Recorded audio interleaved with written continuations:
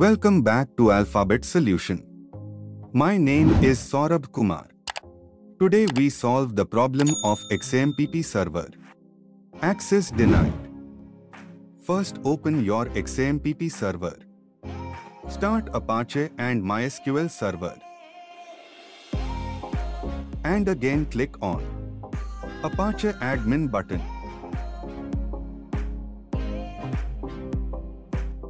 After opening new page, click on PHP My Admin. Here you see an error, which is access denied error. Now we solve this error.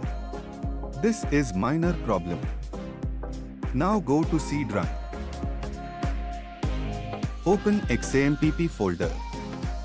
Open MySQL folder. And open bin folder. And open bin folder. After opening bin folder, search my or my.ini file. In this file we changes little bit here.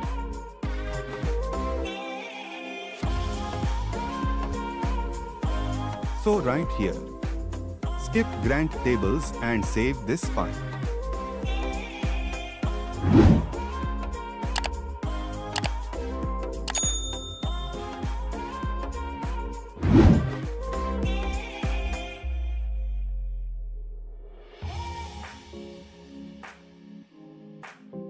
And again open XAMPP server and start Apache server and also start MySQL server.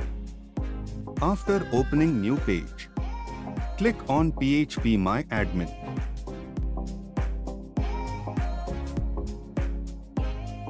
So now your problem may be solved successfully and your server is starting.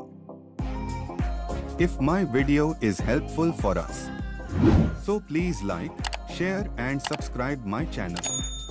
And write on comment section server is starting.